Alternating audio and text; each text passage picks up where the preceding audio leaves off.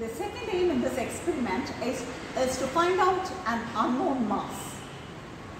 So here you will be doing the same experiment that you did in the first part so that you will be calculating m by l square.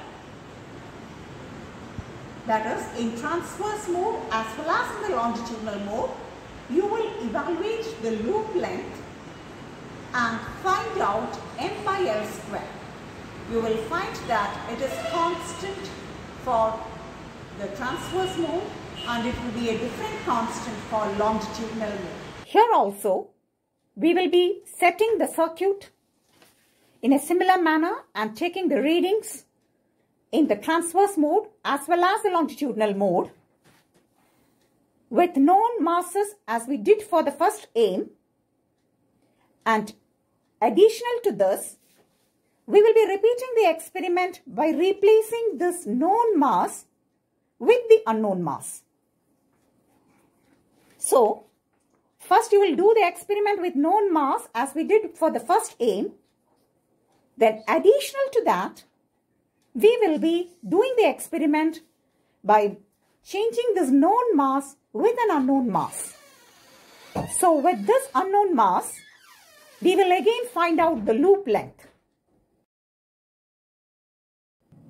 Coming to the observations, we will repeat the same experiment and see that m by l square is constant for transverse mode.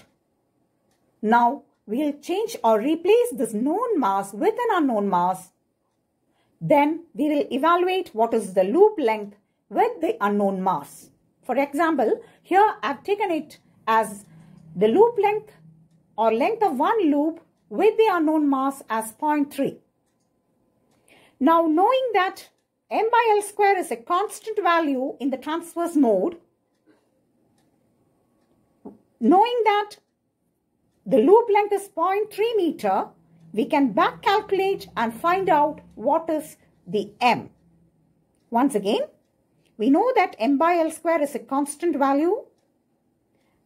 Now we have got the L value as 0.3 for an unknown mass so you can back calculate from the constant value what is your m of the unknown mass.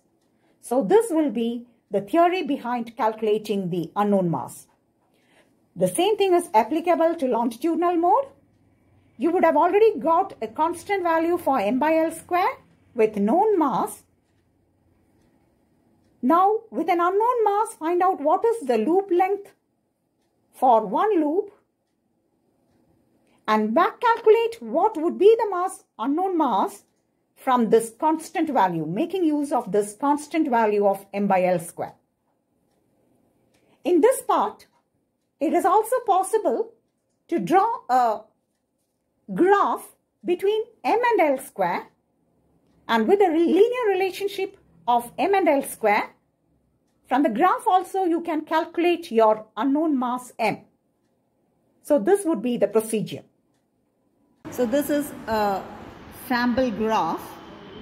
Here you plot your different values of m and the corresponding L square, m and L square, m and L square and you draw the graph m by L square. It will be a straight line. So this comes from the first aim of the experiment also and additionally with for the purpose of the second aim of finding unknown mass what we have done is we have found out the loop length L for the unknown mass. For simplicity, I have taken L square as 0.06.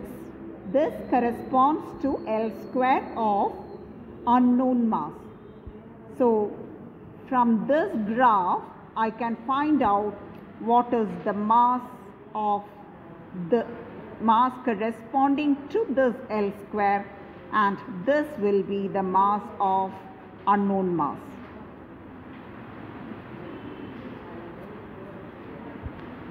So from the linear graph of m by ml square graph, you can find out what is the mass corresponding to the unknown mass.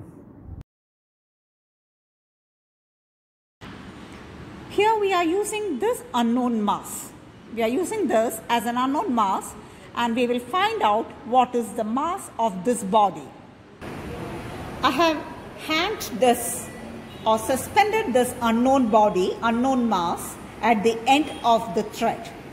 So with this unknown mass, I will repeat the transverse mode of vibration as well as longitudinal mode of Melde's string and find out the loop length.